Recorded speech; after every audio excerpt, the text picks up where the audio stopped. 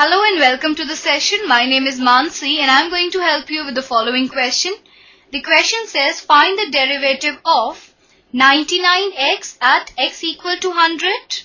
Before starting with the solution, let us see the key idea behind the question that is the theorem 7 of your book that says that let fx be equal to an x raised to power n plus an minus 1 x raised to power n minus 1 and so on till a1x plus a naught be a polynomial function where ai's are all real numbers and an is not equal to 0, then derivative function is given by dfx by dx is equal to n into a n x raised to power n minus 1 plus n minus 1 a n minus 1 x raised to power n minus 2 and so on till 2a2x plus a1. So this is our key idea to the question. Using this theorem, we find out the solution to this question. So let us see the solution now.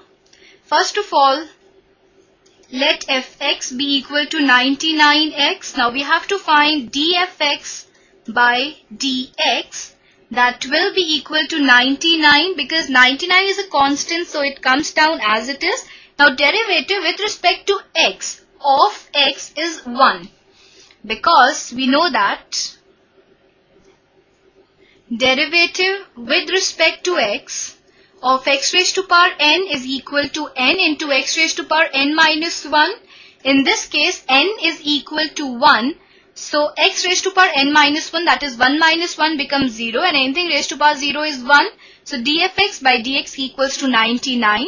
We have to find out dfx by dx at the point x equal to 100 since there is no x. So, this will remain as it is. So, our answer to this question is 99.